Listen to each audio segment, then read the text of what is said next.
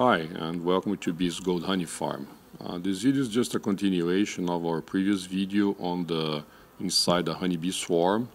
Uh, this image was taken a few minutes after the bees had swarmed and were hanging on the tree and just looking at the entrance I wouldn't have known that they had just swarmed.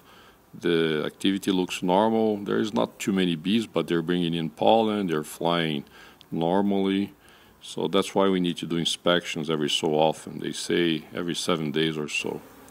This image was taken uh, next day. again, there's a lot of activity in the landing board, bees coming in, lots of them, bringing in pollen, which means there is uh, brood being reared and all that.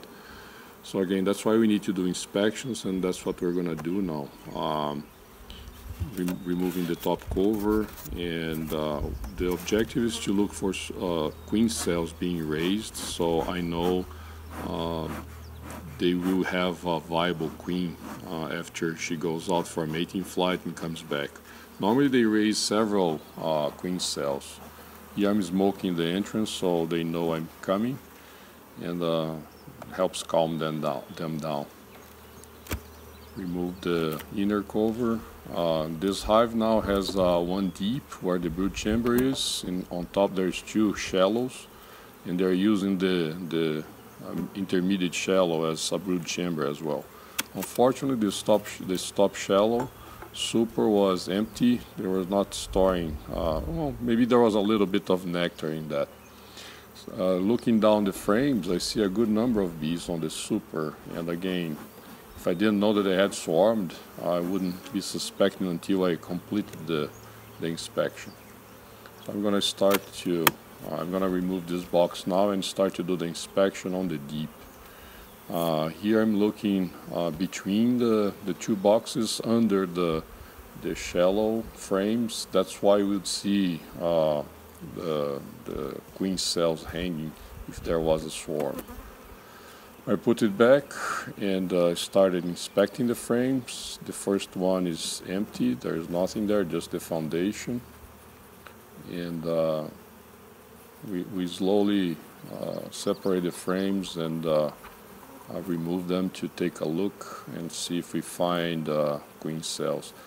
Uh, queen cells, they look very much like peanut shells it's amazing. That's why the, the, why the title of the video. Why is this peanut shell in my in my hive?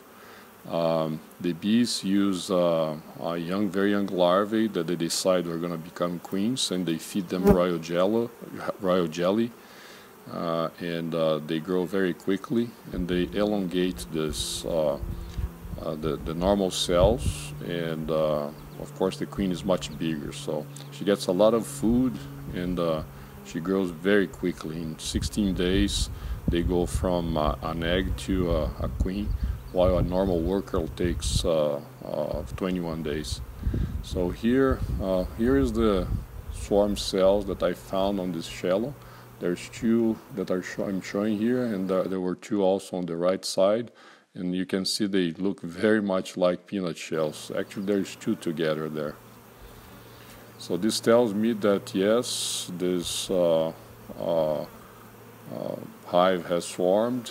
Uh, if I don't find the queen, which is the case here, right, it tells me that they, they did swarm. Um, in the process, uh, I inspected the deep as well, and I found a series of other swarm cells down below. So I, separated some frames, left them uh, one or two swarm cells. This is one that I removed from the deep, another uh, set of uh, queen cells that were being uh, raised there.